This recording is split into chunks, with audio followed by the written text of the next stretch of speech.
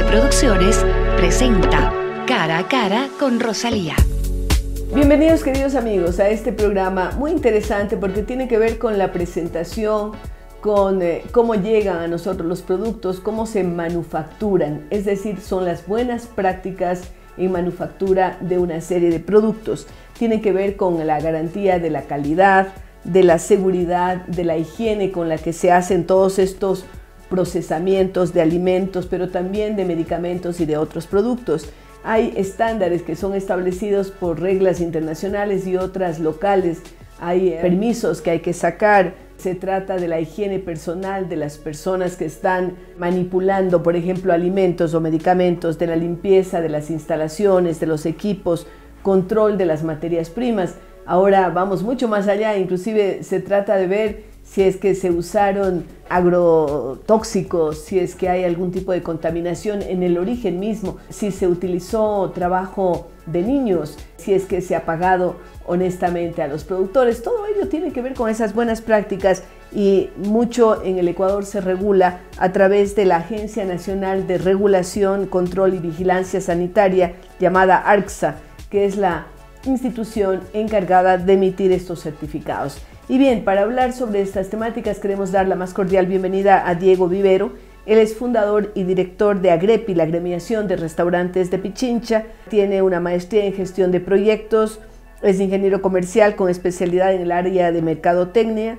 Adicionalmente es cocinero profesional.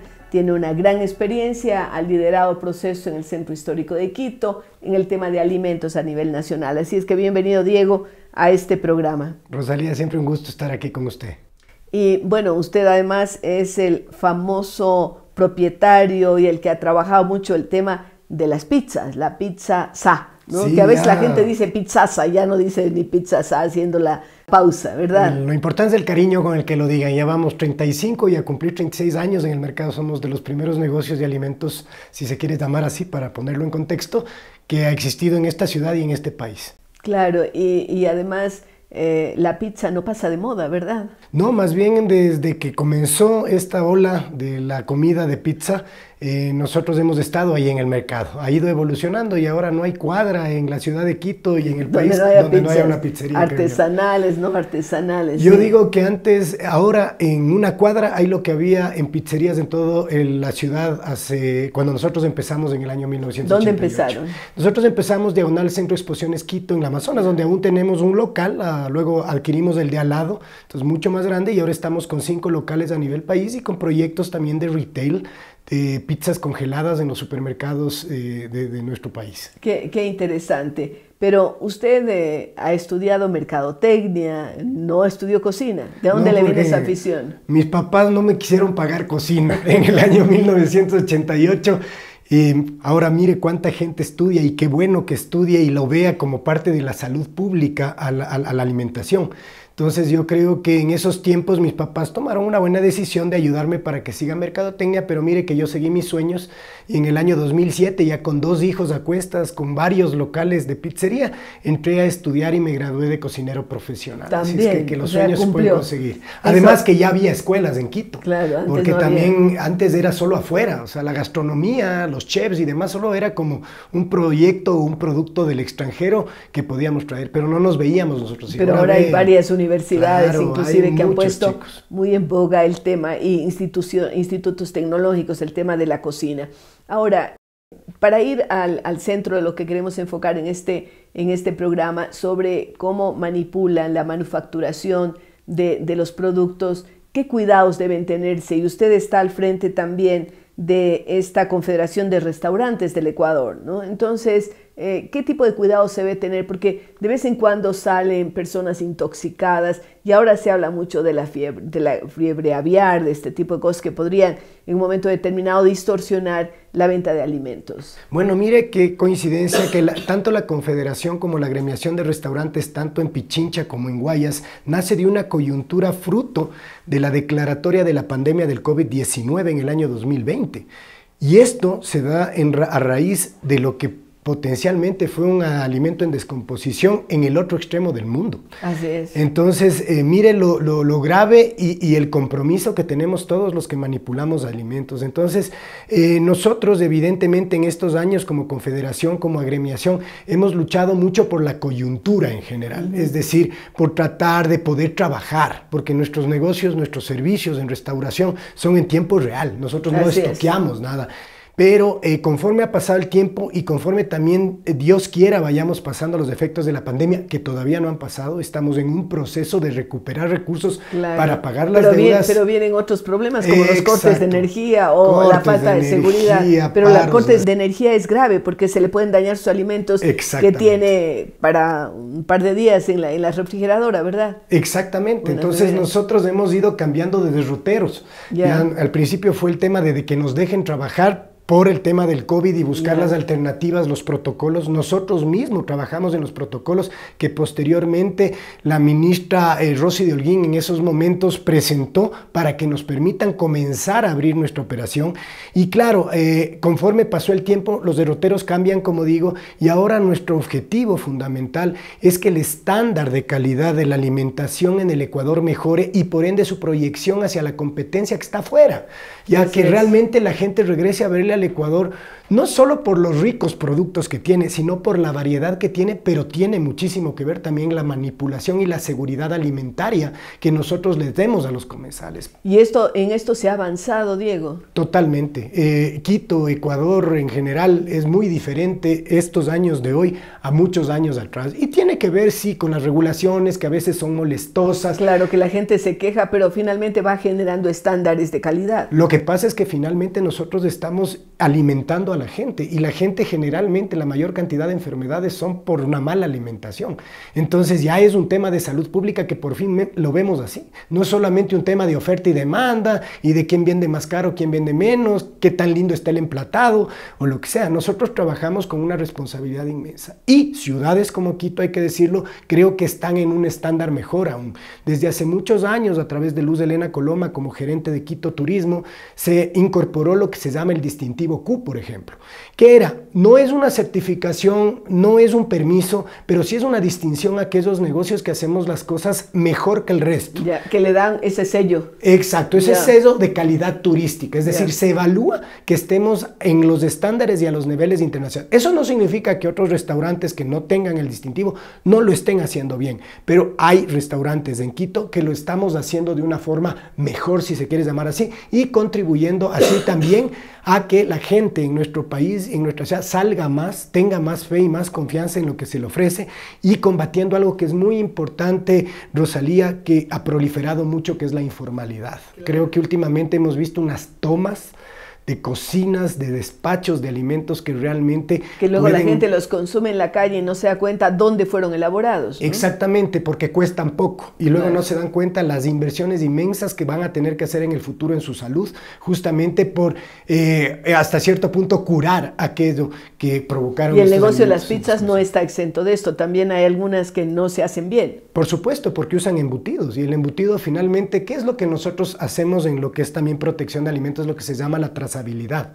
Vamos hacia los proveedores, visitamos los proveedores y vemos la manipulación, porque nosotros no fabricamos, nosotros incorporamos ingredientes y hacemos. Entonces yo no sé cómo se ha hecho un embutido, por ejemplo. Entonces tengo que trabajar con empresas que tengan certificaciones este. calificadas y a mí la autoridad me califica en función de mis proveedores, no solamente de cómo yo manipulo mis alimentos o cómo están mis fríos o cómo está mi cocción, sino también de quiénes son mis proveedores, de que tengan fechas de expiración, de cómo fueron la manipulación de los alimentos y demás. Entonces yo creo que el mensaje que siempre tenemos que dar es que haya confianza en los negocios formales y que se eviten los informales. Y no por generar menos empleo, sino que los informales se formalicen. Y para formalizarse tienen que sujetarse a regulaciones. Y para poder dar un buen alimento van a tener que invertir más y van a tener que cobrar mejores precios.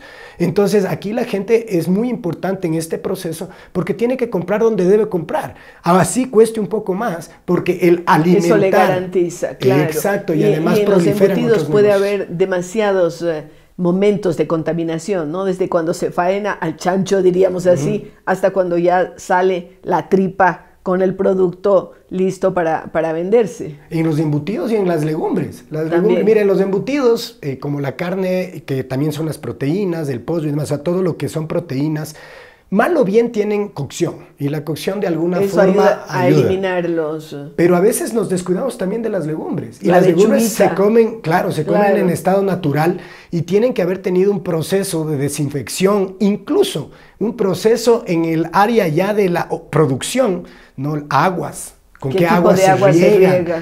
Hay eh, casos emblemáticos a nivel mundial, por ejemplo, hay un caso muy conocido en Estados Unidos que tuvieron que hacer la trazabilidad porque hubo una contaminación inmensa.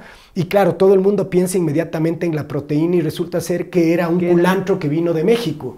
Un culantro. un culantro, o sea, un culantro mal lavado, un culantro que tenía una bacteria que afectó la salud de muchísimas personas en un restaurante de comida mexicana en eh, estas cadenas Y de esto hay miles. De, el pollo, es, ahora volvamos a la proteína. La manipulación del pollo es extremadamente importante y necesaria y delicada. El pollo es un contaminante de por sí ya tiene salmonela. Entonces, si no está bien eh, cocido, pues que al pollo no se le puede pedir el término del pollo.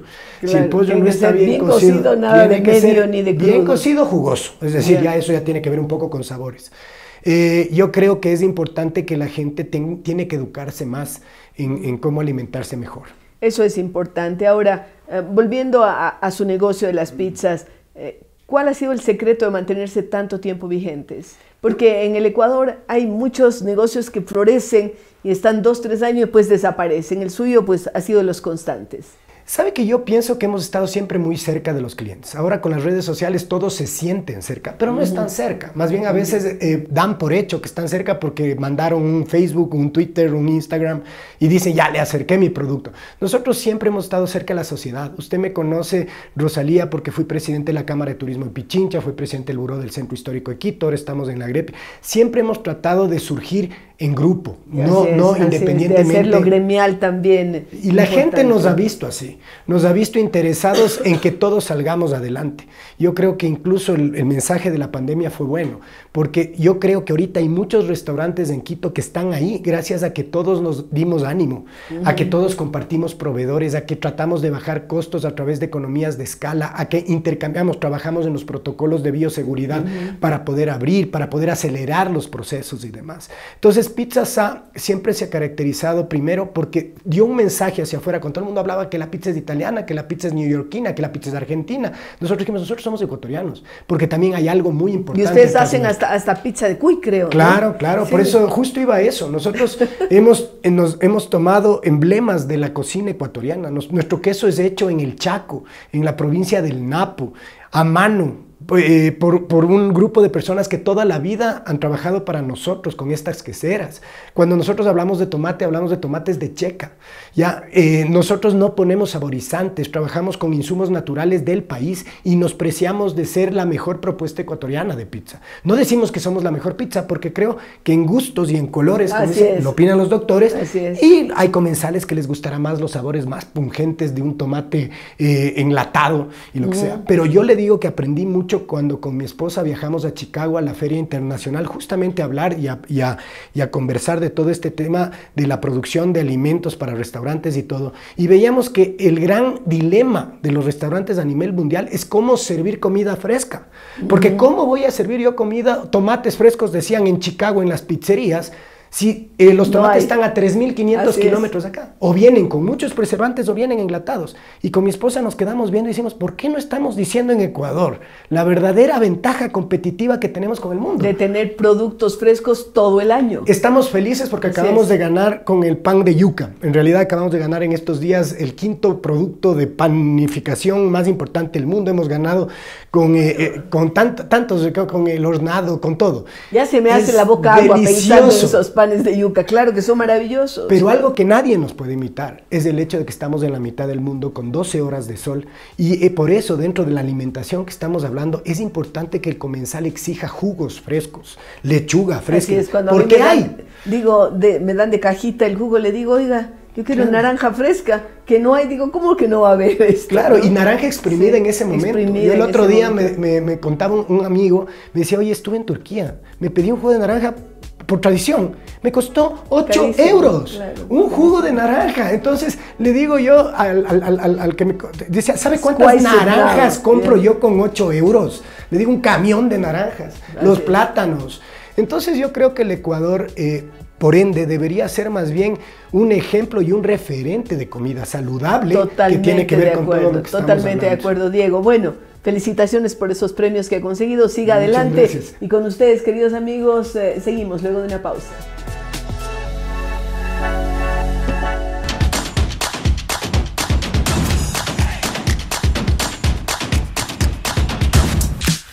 Para ir por el sueño que decidas, necesitas a tu lado una universidad con más experiencia. Una que se adapte a ti, a tus habilidades y haga tus sueños realidad. Una que tenga laboratorios de vanguardia, que invierta en más tecnología de innovación. Que tenga más espacios culturales, deportivos, más espacios para disfrutar con tus amigos. 150 mil metros cuadrados de infraestructura para aprender, investigar, innovar y crear. Asegura tu futuro. Estudia en Loja, en la UTPL y decide ser más.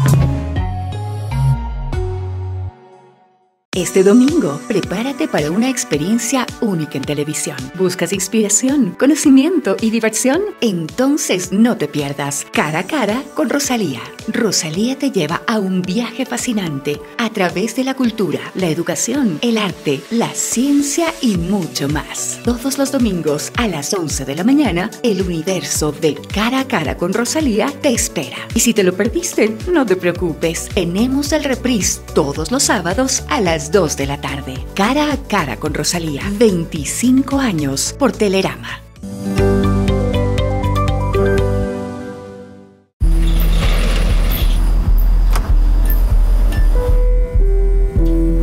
Esfuerzo de Rocío Garay convirtió su mini market en uno de los puntos mi vecino más icónicos de Cuenca. Ella es una de las más de 189 mil mujeres que acceden a créditos para sus negocios. El trabajo de Doña Rosita le llevó a crear su marca de café. Ella es una de las más de 415 mil empresarias que impulsamos día a día. La fortaleza de Kiara la llevó a ser la dueña de una empresa que enorgullece al país. Ella es una de las empresarias que impulsan sus metas con más de 3.400 millones de dólares en créditos. Ellas demuestran que un país crece con el esfuerzo de cada mujer. Banco Pichincha, en confianza.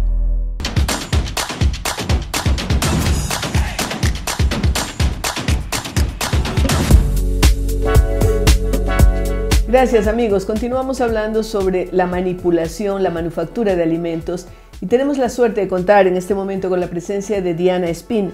Ella es directora ejecutiva de la Corporación Nacional de Avicultores del Ecuador, CONAVE.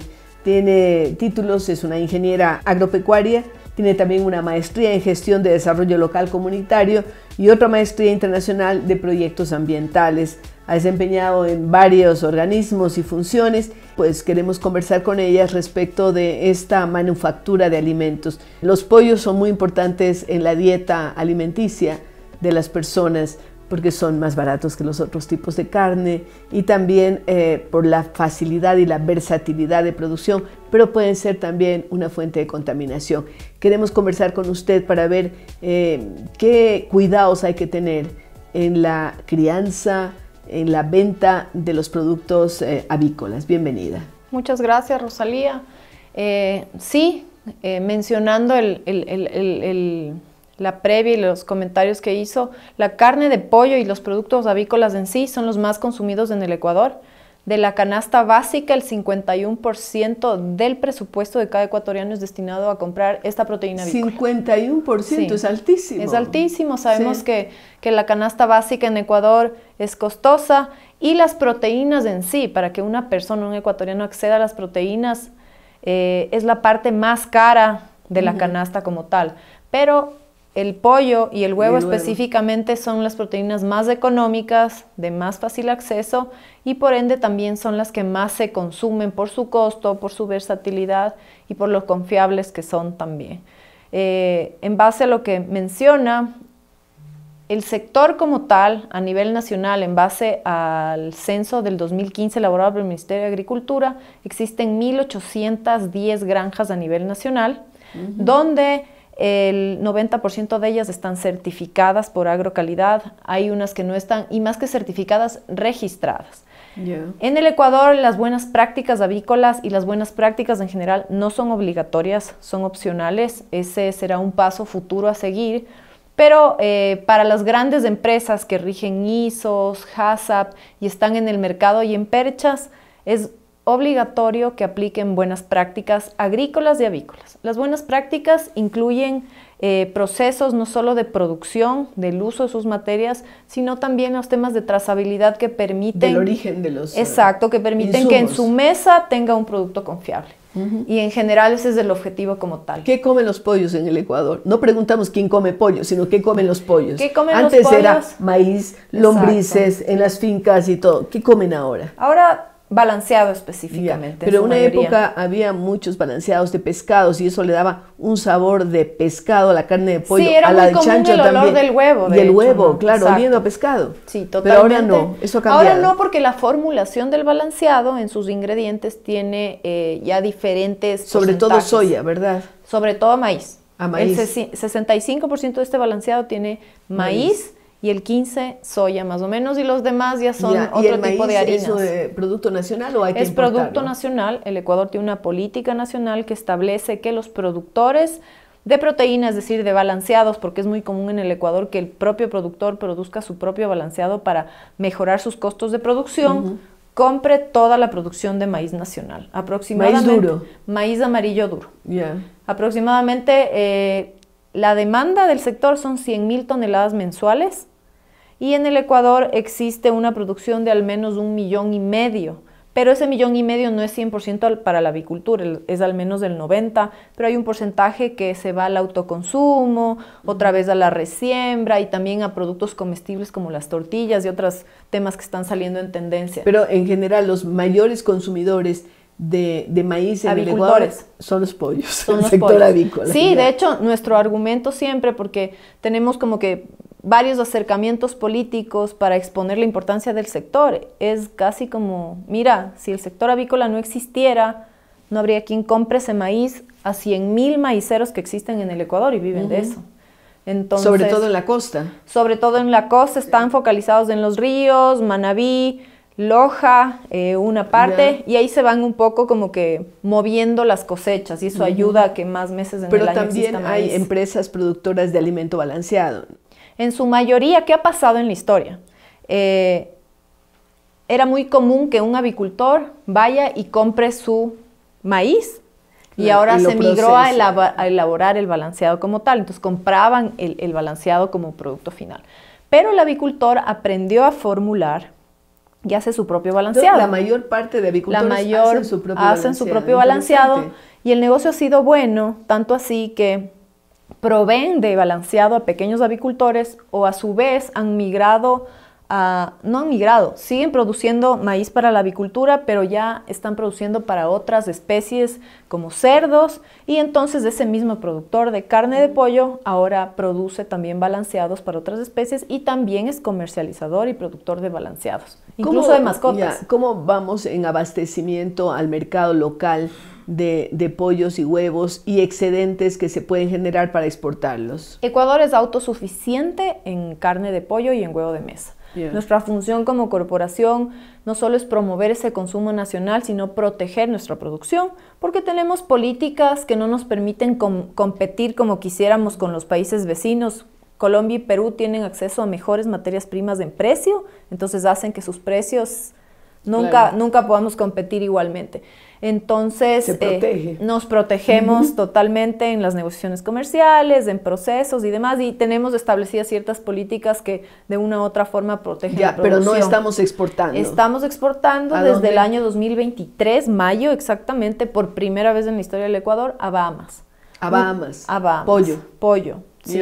Uno de nuestros socios, orgullosamente, que es Avícola San Isidro, fue el primer ex- exportador histórico en el Ecuador, porque no lo había hecho Bueno, nunca. qué bueno, ¿eh?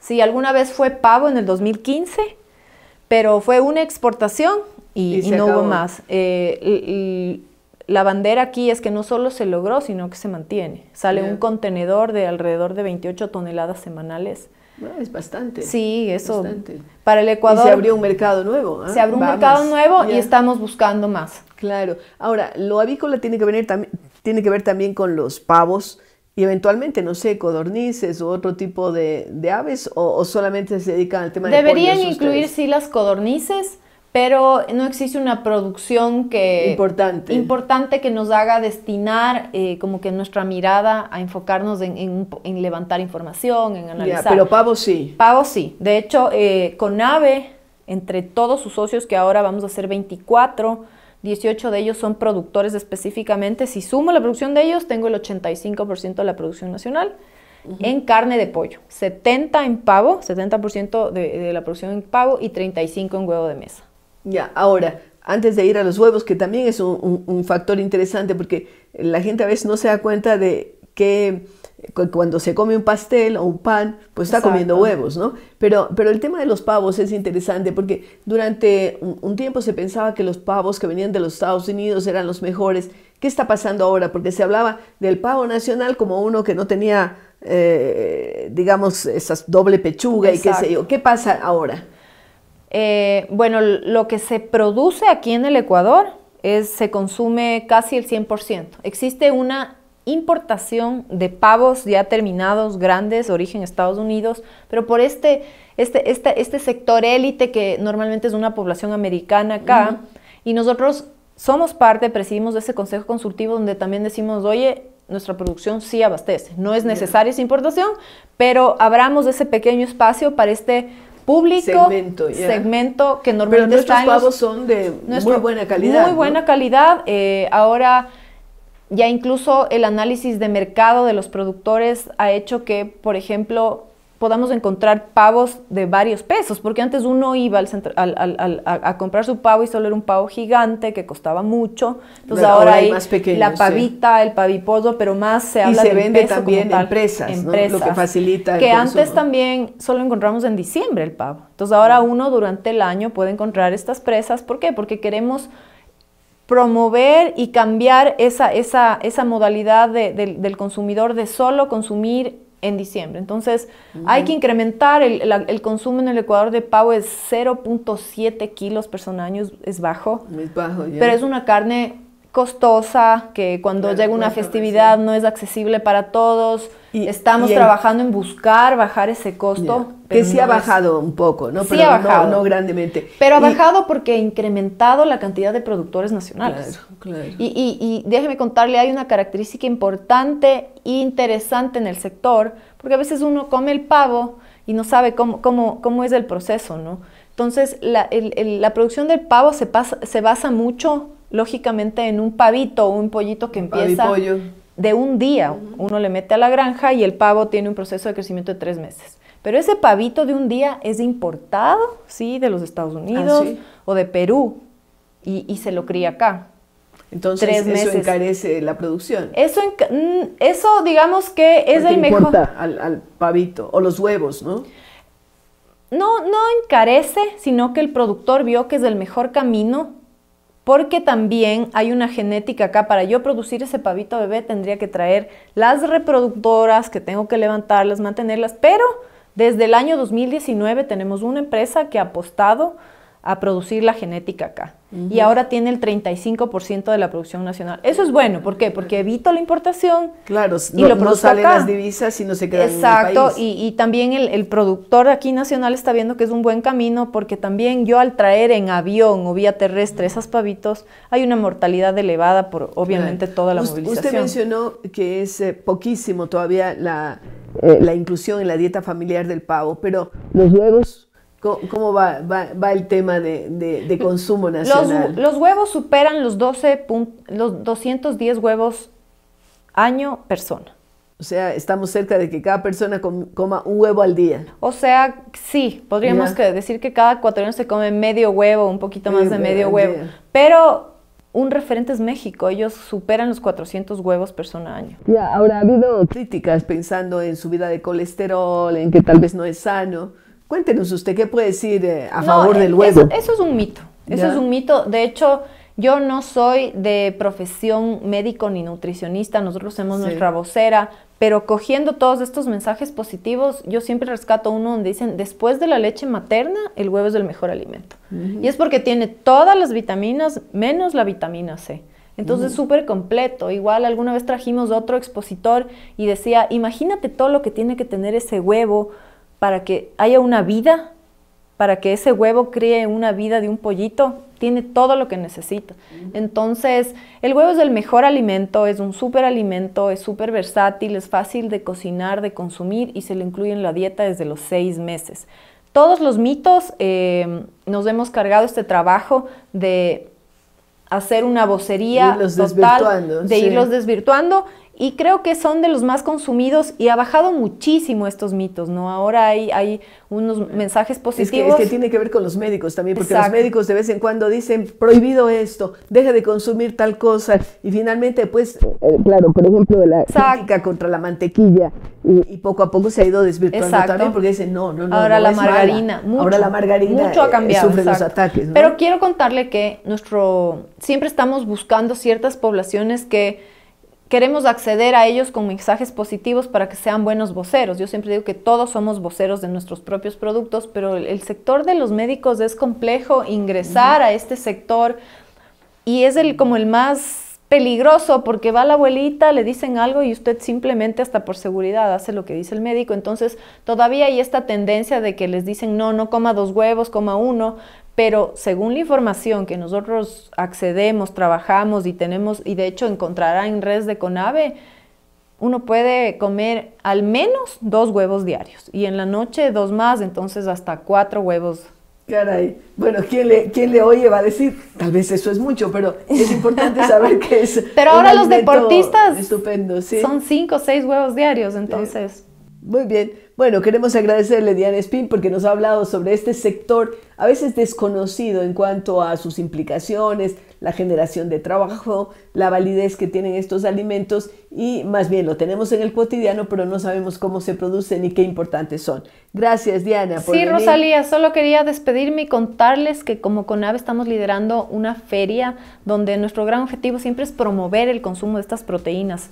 Y nos hemos unido varios gremios para fomentar el consumo de la proteína. Vendrá acá un médico pediatra especialista y que de hecho erradicó la desnutrición infantil en Chile. Que hace mucha falta aquí en el país. Sí, es el doctor Albino. Inaugurará este evento, se llama Proteína Viva esta feria y estarán ahí más de 30, 30 expositores, más de 100 marcas con una vitrina y nuestro objetivo es eso, llegar al consumidor y decirle, mira, no solo el empleo que genera este sector, sino todos los beneficios, sectores, la calidad y, los beneficios de que tú decidas alimentarte bien. Entonces, invitada a este evento que será en julio 25, 26 y 27 aquí en Quito, en el ex aeropuerto. Muy bien, gracias a Diana Spin, que nos ha hecho una vocería de lo que están haciendo. Y con ustedes, queridos amigos, seguimos luego de una pausa.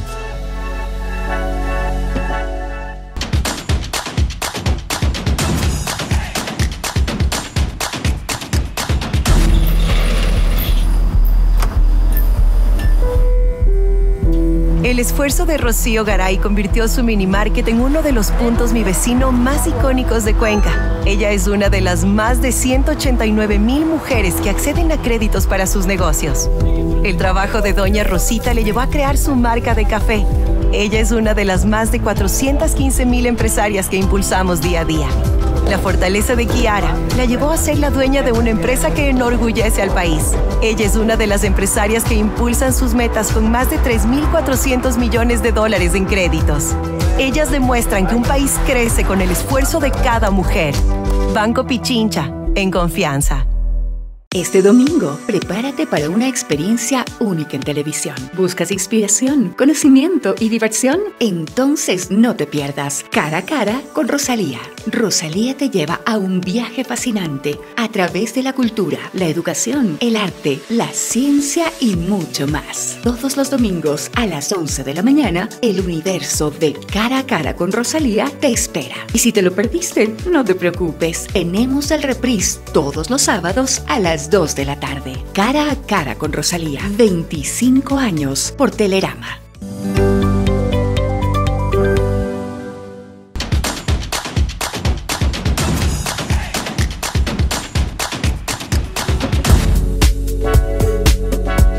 Gracias por continuar con nosotros y seguimos hablando sobre manufactura de productos.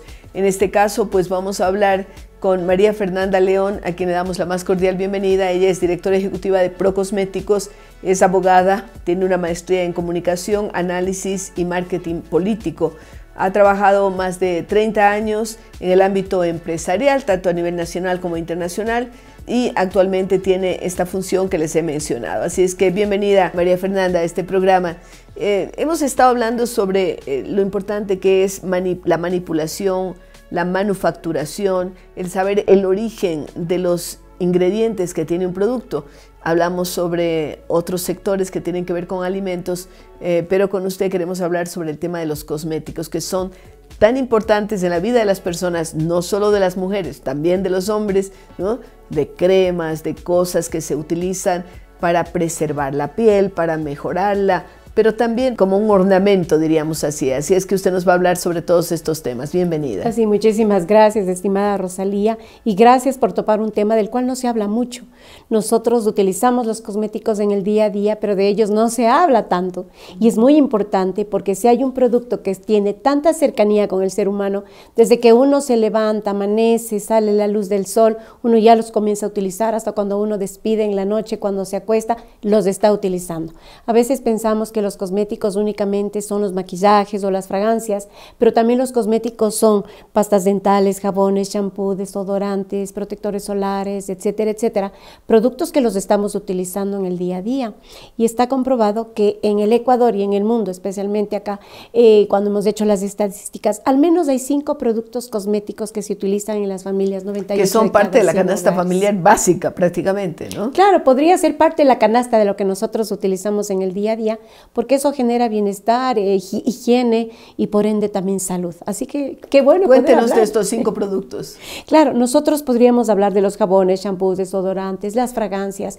En el Ecuador justo ayer estábamos consolidando la información estadística y vemos que en este orden el uso de preferencias de productos cosméticos en el país está dado por el hair care, todo lo que es cuidado de cabello. Entonces, incluso mucho más que el maquillaje. más es el cabello. Más es el cabello en el Ecuador.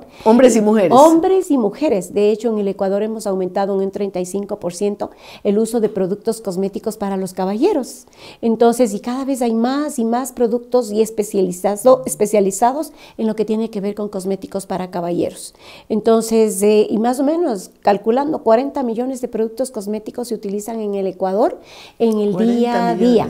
que es bastante, es una locura, es eh, la realidad y ellos por eso decimos, ¿hay algún otro producto que esté tan presente en la vida del ser humano desde que este se puso de pie, pues son los cosméticos, ahí entran también las fragancias. Entonces tenemos el cuidado del cabello, es para nosotros muy importante, hombres y mujeres, eh, más que el maquillaje, decíamos, de ahí luego siguen las fragancias que nos dan identidad. ¿Y el cuidado de la piel? Y ahí viene el cuidado de la piel. Tercero ocupa el cuidado de la piel. Cuidado de la piel. Yo había pensado que era primero. Si no, ahí viene el cuidado de la piel y de ahí viene el maquillaje. Entonces por eso vemos a muchas personas no con maquillaje, pero con lindos cabellos, bien cuidados, con mucha higiene. Entonces, esa es la principal preocupación en el Ecuador. Ayer que Y no perder el cabello también. y no perder el cabello. Porque ahora vivimos más, entonces el riesgo está permanente para casi todo el mundo, ¿no? Totalmente. Y además el cabello se lo puede perder por estrés, por algún problema eh, terapéutico. O genético también. Genético también, más en los caballeros que en las mujeres. Sí, es cierto. Ahora, eh, también es importante saber que el sector cosmético genera una cantidad enorme de empleo. Háblenos de, sobre eso. Sí, la cadena productiva del sector cosmético es gigante,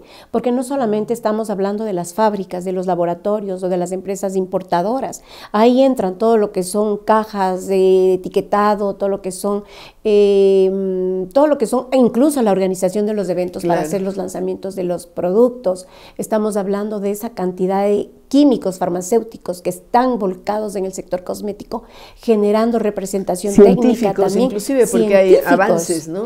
De hecho, el sector cosmético no podríamos hablar de cosméticos artesanales, porque detrás de cada cosmético por ley, por norma y supranacional, esto significa que incluso es superior a cualquier decreto ejecutivo en los cosméticos, tiene que tener un director técnico, un representante técnico que pone su firma garantizando a través de un organismo competente, que en este caso es ARCSA, que esos productos van a ser inocuos para la salud, van a ser Claro, porque en tiempos antiguos uno, uno, ha leído las crónicas, ¿no? Desde Cleopatra, qué sé yo, que utilizaban, por ejemplo, el mercurio para aclarar la piel. Y el mercurio es un veneno, pero se lo utilizaba en tiempos antiguos.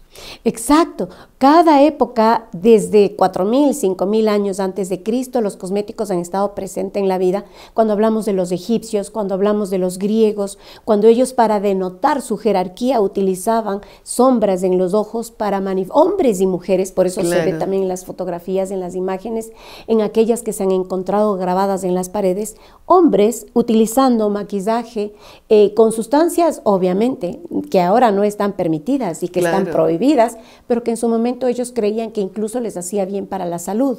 Y esto del mercurio, una época en el Renacimiento, nosotros vemos los cuadros, las mujeres se pintaban de blanco las caras para denotar que eso era parte de su jerarquía, de su, nobleza, que no les daba el sol, que no eran trabajadores. Pero bueno, en los países asiáticos, Corea, Japón, todavía, mientras más eh, cosas blancas tengan la piel, pues está mejor, ¿no? Y sobre todo, sí, y el Asia, que este rato es el primer, eh, la primera región en la utilización y en la producción de cosméticos. El Asia es la número uno.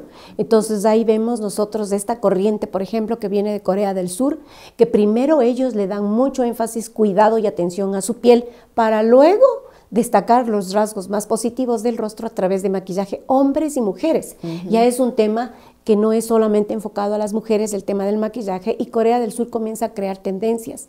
Estuve alguna vez en Cosmoprof el año, em, hace dos años me acuerdo, que hubo una presentación de las mejores marcas, las que estaban ganando en temas de innovación y hubo la premiación y ya pues el 80% de las marcas ganadoras eran coreanas. Increíble, increíble, ¿no? Son estas cosas que, que, a veces no sabemos, pero volvamos al Ecuador.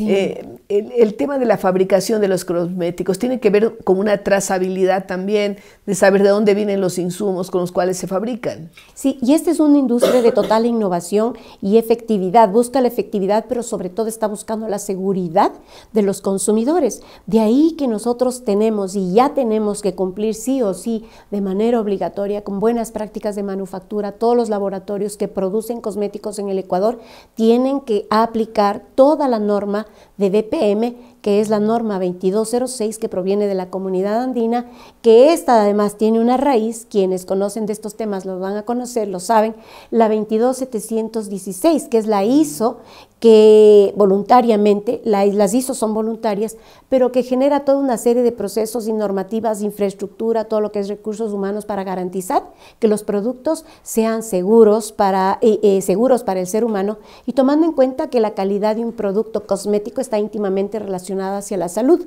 Por eso necesitan de notificación sanitaria obligatoria para poder comercializar un producto afuera y esto lo da una agencia sanitaria en todo el mundo. En el Ecuador es ARCSA. Entonces, si se velan a través través del cumplimiento de BPMs que pueden sacar una certificación. En el mundo no existe certificados de BPMs porque se ha comprobado que los certificados vienen a ser un papel que incluso puede ser alterado, adulterado, falsificado en algún momento las agencias sanitarias tienen que sí o sí vigilar en el mercado los cosméticos, tienen que ir a las plantas o los laboratorios locales para comprobar que se esté cumpliendo con BPM y los productos importados, vengan de donde vengan, pueden venir del Asia, de Europa, del Mercosur, de cualquier región, tiene que sí o sí también demostrar que están aplicando BPM, incluso a través de una declaración juramentada, lo cual es muy mm. grave en el caso de que se descubra que no están que falseado, claro. Por eso Ahora, es hiperregulado el sector cosmético. ¿Qué porcentaje dentro de la industria de la, de la cosmética es importado aquí en el Ecuador y qué porcentaje se fabrica aquí? Estamos hablando, cuando hablamos solo de los cosméticos, el mercado ecuatoriano es 1.480 millones de dólares con un crecimiento anual de alrededor del 4 o 5%. De eso, el 30-35% ya es industria nacional y cada vez sigue creciendo, expandiéndose y también mirando hacia otros mercados externos porque al final... Esto en el área cosmética, pero los otros que tienen que ver con, con estos otros elementos que usted ha mencionado, fragancias, eh, por un lado y por otro lado temas para el cuidado del cabello, ¿qué porcentaje se mantiene? Claro, todo, todo eso está dentro de la categoría de cosméticos. Cosméticos tiene 14 subcategorías. Entonces ahí entran todo lo que son cuidado capilar, cuidado de la piel, todo lo que es color, que es maquillaje, todo lo que es color de cabello, protectores solares, repelentes que se utilizan en la superficie, pastas dentales, todo eso, todo está dentro de este paraguas gigante que se llama cosméticos. Entonces ahí habría que ver, dependiendo el porcentaje más alto de todo el pastel, la participación de cosméticos en el Ecuador, es, como decíamos, el cuidado capilar. De ahí sigue el tema de las fragancias. Y en fragancias estamos creciendo muchísimo, inclusive estamos exportando las fragancias. Ecuatorianas, ya hechas en Ecuador. Hechas en el país, considerando que el alcohol ecuatoriano está considerado como uno de los mejores del mundo, el segundo mejor del mundo. Nosotros exportamos. Ah, caray, segundo mejor del mundo. ¿Y cuál es el primero? Francia. Francia, en cuanto a alcoholes. En cuanto a alcohol. eso sí que es algo nuevo que aprendió el día de hoy. Y es maravilloso porque nosotros mandamos el alcohol a Europa y esto regresa convertido en fragancia. Entonces uno va a las perfumerías grandes de Europa, de París, y se pasea por Le Champs-Élysées y alguna vez yo vi la bandera ecuatoriana. Entonces decía, hecho con el mejor alcohol del mundo, y yo entré, ingresé, dije, a ver, cuénteme, quería corroborar mejorar me dice, claro, y además que apoyan a las comunidades. Eh, ¿Y el alcohol eh, fabricado de qué? De la caña de, azúcar. En este caso de caña de azúcar, en el de Francia de puede ser de... Puede ser sintético porque llega a un grado altísimo de remolacha también, ¿no? remolacha azucarera, ellos utilizan mucho el tema de la naturaleza, pero la zona geográfica que tiene el país, el Ecuador, hace que la pureza de nuestra caña de azúcar sea única, así como es el cacao, nuestro camarón. La zona geográfica es privilegiada en el país. Entonces es bueno dar a conocer también que el alcohol ecuatoriano regresa, se va y regresa. Regresa en las fragancias francesas, ¿no? En las fragancias francesas, Increíble, exacto, como nuestro cacao. Regresa desde Suiza, desde Bélgica. Y entonces ya han empezado a desarrollarse industrias en el tema de la producción de fragancias utilizando el alcohol. Pero claro, también hay otros ingredientes fantásticos como eh, las flores y todo eso para las fragancias. ¿no? Nosotros siempre los almizcles. La fuente, el origen de los cosméticos viene de la naturaleza. La naturaleza es la madre de los cosméticos. Nosotros encontramos la lavanda, el jazmín, encontramos la hierbabuena, las rosas. Todos esos son parte y se convierten en aceites esenciales, parte de las formulaciones de esta pirámide olfativa que tienen las fragancias.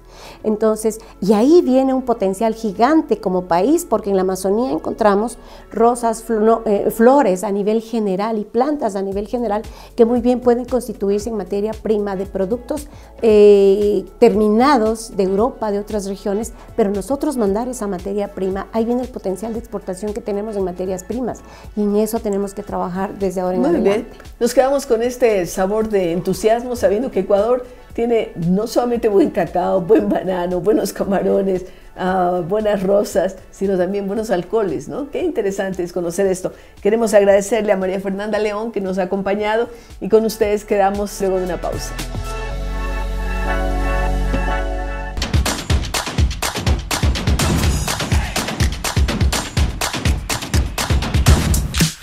Para ir por el sueño que decidas, necesitas a tu lado una universidad con más experiencia. Una que se adapte a ti, a tus habilidades y haga tus sueños realidad. Una que tenga laboratorios de vanguardia, que invierta en más tecnología de innovación. Que tenga más espacios culturales, deportivos, más espacios para disfrutar con tus amigos. 150 mil metros cuadrados de infraestructura para aprender, investigar, innovar y crear. Asegura tu futuro. Estudia en Loja, en la UTPL y decide ser más.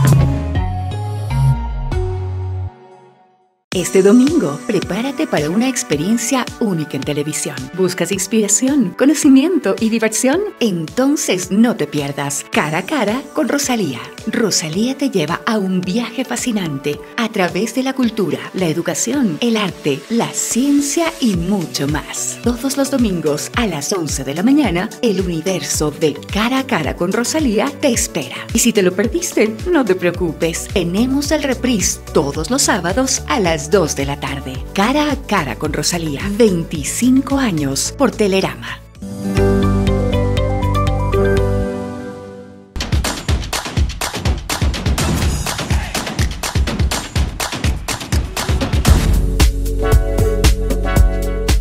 Interesante es escuchar cómo se producen ciertos elementos que utilizamos diariamente o para alimentarnos o en la industria cosmética y conocer noticias positivas. A mí me ha impactado eso de saber que somos los segundos en cuanto a calidad de alcoholes en el mundo entero después de los franceses. Vean qué, qué noticia positiva tan interesante. Por otro lado, queremos continuar con nuestro programa invitándoles a que vean nuestro segmento cultural. El segmento cultural llega a ustedes gracias al auspicio de Hidalgo e Hidalgo Constructores, contribuyendo al desarrollo del país y apoyando a la educación. El Ministerio de Educación y la Universidad Internacional de La Rioja, UNIR, han firmado un acuerdo en el que la institución educativa se compromete a apoyar el plan de carnetización digital de la red de beneficios para docentes y profesionales de la educación.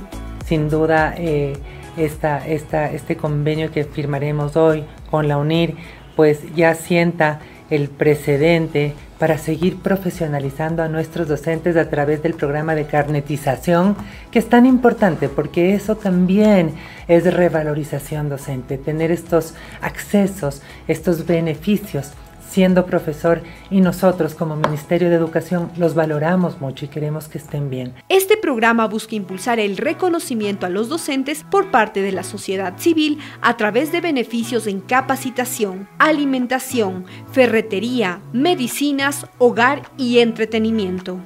El acuerdo beneficiará a más de 148 mil educadores del magisterio ecuatoriano, así como sus familiares hasta segundo grado de consanguinidad, quienes podrán acceder a beneficios exclusivos para fortalecer su formación profesional. Además, gracias a esta alianza, los docentes podrán acceder a becas que cubren hasta el 50% del valor de las maestrías, según el programa académico al cual se aplique. Realmente para nosotros es una enorme satisfacción el poder cristalizar una vez más un acuerdo con el Ministerio de Educación. Eh, hemos sido aliados a lo largo de los años y estamos convencidos de que eh, el elemento humano es fundamental para mejorar calidad de educación. Los maestros son la clave, son los protagonistas de la educación y en este sentido la posibilidad de participar en este gran programa que tiene el Ministerio de la Carnetización de los docentes que les da acceso a una serie de beneficios eh, realmente es, es, algo maravilloso. Nosotros como UNIR tenemos varias posibilidades, eh, descuentos en las maestrías. Em, del 15 al 50%, la posibilidad de participar en, proyectos como Héroes en el Aula, que tienen descuentos mayores todavía del 60%, reconociendo el trabajo de los eh, más brillantes docentes, también la posibilidad de eh, trabajar con becas para mujeres, que las tenemos también, eh, becas para indígenas, para las comunidades y pueblos y nacionalidades indígenas, que también son varias docentes las que suelen aplicar para este tipo de, becas. Entonces, además de eso, todo lo que es educación continua, que permite que tengan acceso a Open Class, a una serie de cursos eh, de beneficios que tienen eh, los maestros. recordar que la UNIR tiene cerca de 30 maestrías para los docentes y que ahora estamos muy empeñados en trabajar, por ejemplo, en inteligencia artificial y docencia, en em, todo lo que es inteligencia emocional, que es un tema que, que lo manejan muy bien y que em, realmente es fundamental porque los maestros están sujetos ahora a muchas más presiones, a mucho más estrés. Todo lo que pasa en las aulas recae en los maestros, finalmente, las familias. Y en ese sentido, pues la UNIR está totalmente abierta a seguir colaborando con el Ministerio de Educación, a apoyar iniciativas como esta de carnetización y, bueno, a, seguir trabajando por la educación como es nuestro objetivo. Muchas gracias. Muy bien, muy bien. Gracias. Estas acciones renuevan el compromiso de la UNIR con la calidad educativa. Además de reconocer siempre el valor del factor humano en este proceso, participar en este importante programa de carnetización docente es un privilegio que hay que valorar enormemente. Felicitaciones.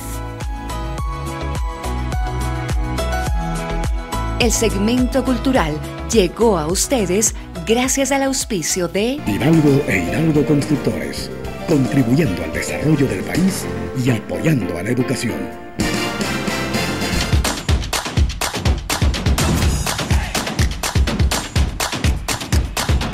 Hidalgo e Hidalgo Constructores. Crea, edifica y construye. Kilómetros y kilómetros de carreteras a lo largo y ancho del país. Obras de riego, drenaje y control de inundaciones. Industria de la construcción. Saneamiento ambiental y agroindustria. Hidalgo e Hidalgo Constructores. Contribuyendo al desarrollo del país y apoyando a la educación.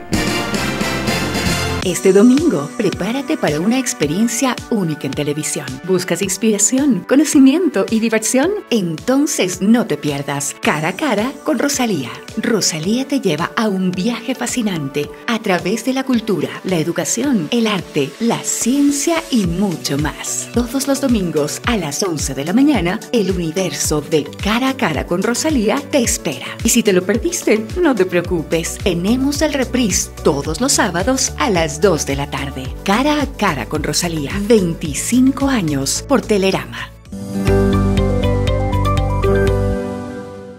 Estoy tan orgulloso de ti. Has llegado muy lejos. Has mantenido siempre tus principios. Eres imparcial, objetivo y sincero. Has aprendido lo que necesitas saber. Sigue adelante. Así es, Diario La Hora. Llegamos cada mañana con la mejor información en el tamaño ideal.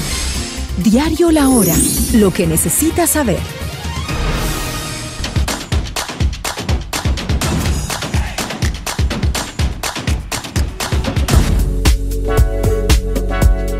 ¿En qué pasa con? Vemos algo interesante para la comunidad. La lucha contra la malnutrición comienza con medidas de detención periódica y la identificación temprana de los niños en riesgo. Abbott, empresa líder mundial en el cuidado de la salud, continúa su lucha contra la malnutrición en Ecuador a través de la firma de alianzas con los gobiernos provinciales de Pichincha y Tungurahua. Prácticamente esta alianza que les estamos comentando el día de hoy eh, trata justamente de eso, implica la donación de 2.000 cintas eh, MUAC Z Score, que son las que tengo aquí. Es un dispositivo bastante fácil, ustedes lo podrán asimilar a una eh, cinta métrica eh, tradicional. Y lo que hace esto es identificar con una codificación de colores que ustedes pueden ver aquí, después eh, de utilizarlo a nivel del brazo eh, medio eh, para que ustedes puedan ver cuál es ese grado de desnutrición y en qué riesgo está eh, la- el, el niño. En 2022, Abbott inició este proyecto para combatir la malnutrición, firmando acuerdos con las municipalidades de Cuenca y Manta y desde ese entonces ha capacitado a más de 5.000 profesionales de la salud y ha donado más de 6.000 cintas MUAC Z-Score. Esta alianza estratégica entre la prefectura de Pichincha y Abbott nos va a permitir sumarnos a una estrategia nacional de la lucha contra la desnutrición crónica. Eh, yo quisiera resaltar eh, algunos elementos. Combatir la desnutrición crónica es eh, combatir realmente las barreras de inequidad que pueden tener los ciudadanos en una sociedad. Poder trabajar con los niños en el rango hasta dos años y hasta cinco años puede hacer la gran diferencia entre los ciudadanos del futuro para este país. Así que agradecemos muchísimo la predisposición de Abbott y la confianza que Abbott tiene en el sistema de salud de la prefectura de Pichincha. El compromiso para una nación con buena nutrición depende de todos los sectores de la sociedad. Aplausos a la empresa privada y a los gobiernos locales por estas acciones.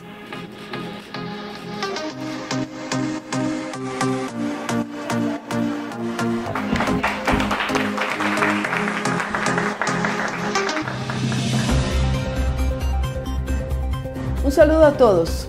Soy Rosalía Arteaga y el día de hoy quiero entregarles un editorial que lo he titulado Activismo político en universidades norteamericanas. La actual crisis en la franja de Gaza, ocasionada por el ataque de un grupo terrorista Hamas al Estado de Israel con el secuestro de decenas de civiles, trae consecuencias impensadas en las diferentes latitudes. Dentro de estas reacciones, vale la pena analizar lo que está ocurriendo en estos días en las diferentes universidades de los Estados Unidos de Norteamérica y que empezó hace algunos meses con declaraciones controversiales de algunos rectores y que ahora se expresa a través de manifestaciones violentas al interior de los predios universitarios. La visión a favor de la causa palestina y en contra del Estado de Israel aparece con duros ribetes y calificativos no justificados hacia un pueblo que ha sido víctima a lo largo de la historia de persecución y que ocupa un pequeño espacio en lo que fue su territorio ancestral. La preocupación de las autoridades universitarias en los Estados Unidos viene dada por actos de vandalismo, interrupción de ceremonias de graduación impedimento de continuar con las actividades diarias, lo que ha acarreado inclusive la presencia policial al interior de estos predios. Hay visos de penetración de los movimientos estudiantiles por parte de personas interesadas en sembrar el caos, así como también de llegar a posiciones extremas que causen daño y desconcierto.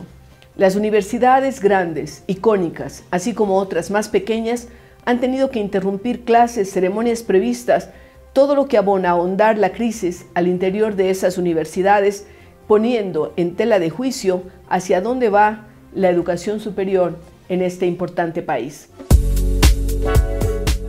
Queremos reiterar el hecho de la importancia de saber cómo se hacen los productos y qué válido es pensar en que los consumidores sepamos algo sobre cómo se elaboran los productos que consumimos diariamente. Queremos también en estas palabras finales invitarles a que nos sigan a través de las redes sociales. Estamos en nuestro canal de YouTube de Cara a Cara con Rosalía.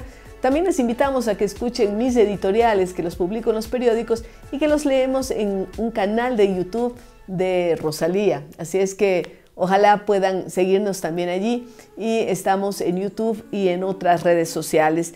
Queremos terminar el programa con un poema, un, extracto de un poema de Lautaro Márquez. Él es poeta, escritor y compositor chileno. Además, eh, lo hemos, eh, más bien él nos contactó a través de nuestro programa en Facebook Live y queremos agradecer a Lautaro porque nos ha escrito y nos ha enviado su obra literaria. Así es que el poema que les traemos hoy se titula Sed de Amor de Lautaro Márquez, escritor chileno. La noche no se duerme, en su última vigilia, la luna baña de blanco los potreros, mientras el viento va silbando con tu nombre, sobre el eco que retumba en mi pecho. Te escapas y corres hacia cada orilla, como ola perseguida por el mar y a lo lejos yo te observo, sentada en la quilla de tu barco llamado libertad. Gracias a ustedes y gracias a Lautaro por su poema. Queremos despedir este programa y recomendarles que nos sigan sintonizando. Gracias.